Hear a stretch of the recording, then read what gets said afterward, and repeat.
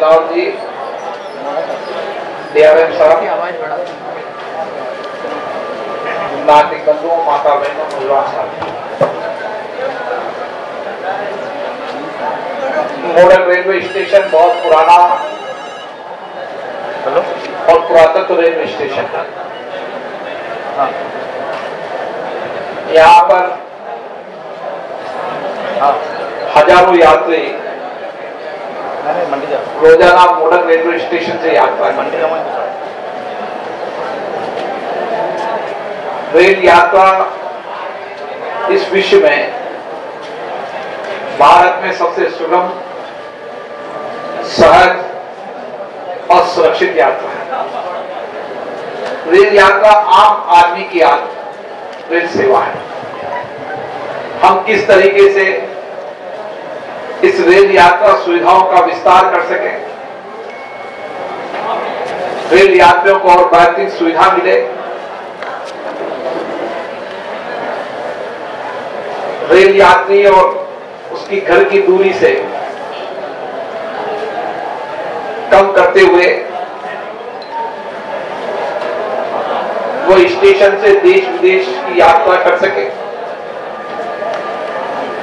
इसके लिए railway station को सुगम और सुविधाजनक बनाने की योजना है। मॉडल रेलवे स्टेशन से नित्य प्रतिदिन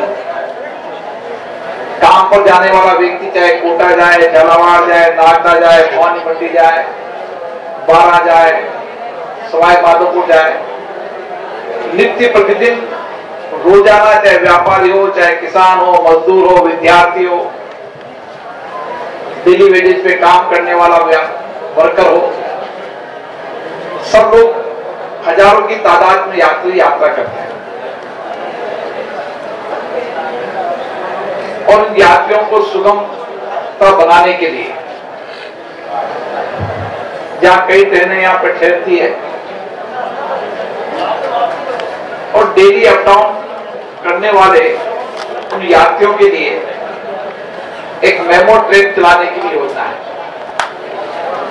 मेमो ट्रेन एक तरीके से वो मेट्रो ट्रेन है जैसे मुंबई में जो डेली अप डाउन यात्राओं के लिए ट्रेन चलती है उसी तरीके से मोडक से हाई स्पीड मेट्रो ट्रेन चलेगी जो सभी छोटे स्टेशनों पर रुकते हुए कोटा, बारा, सवाई, माधोपुर, चित्तौड़ नागदा झालावाड़, सभी स्टेशनों पे जाएगी ताकि किसी व्यक्ति को अगर मोडक से कोटा स्टेशन की ट्रेन पकड़नी है तो वो मेमो ट्रेन से कोटा पहुँचा और कोटा से देश के किसी भी हिस्से में पहुँचे या देश से बाहर जाना हो तो दिल्ली या दिल्ली या बॉम्बे कहीं भी जाकर, वह अपनी यात्रा को सुगम कर सकता है। ऐसे राम मंडी रेलवे स्टेशन पर भी अधिकतम ट्रेनों का ठहराव है। लेकिन जो डेली व्यक्ति अप डाउन करता है, उसके लिए हर दो घंटे के अंदर कोई ना कोई ट्रेन मिलती है। ये सुगमता आने वाले मई से मोडक स्टेशन के लोगों को मिलने लगी। कुछ मोडक स्टेशन की समस्याएँ बताई है। विशेष रूप से जो ये संकोटित इलाका है, जो बाढ़ का इलाका है, उसको और विस्तार करके सुंदर बनाया जाएगा, ताकि यात्रियों को और सुविधाजनक हो सके। कुछ इसका फुटब्रिज तो बनी गया। पर प्लेटफॉर्म टू क्या जो सरफेस है खराब है, उसको ठीक कर रहे हैं। पीने के पानी की ठीक नहीं होगी, इसकी व्यवस्था ठीक कर देंगे। शौचालय ठीक से बना देंगे। बाकी पता एक प्रॉब्लम है ना। वो जो बनाया है फुटओवर ब्रिज वो इससे इस पे बनाया हुआ है। बाहर से बाहर का कोई रास्ता ही नहीं था पानी का। अंडरपास भी नहीं है। बाहर उधर से लोग इधर आना है तो फिर इधर इधर से होकर आना पड़ता है वैसे। बाहर के पास जाने का कोई रास्ता नहीं था पानी का।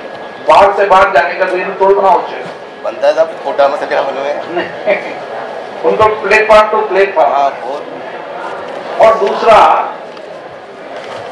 यहाँ पर कोई ठीक से बैठने का स्थान नहीं होगा।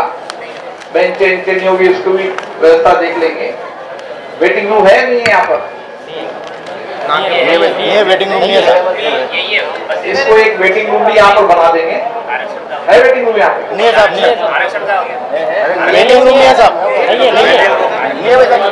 छोटा वेटिंग रूम है बढ़िया वेटिंग रूम बना देंगे।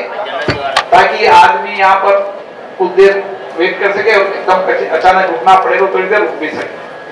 अच्छा एक वेटिंग रूम भी यहाँ पर।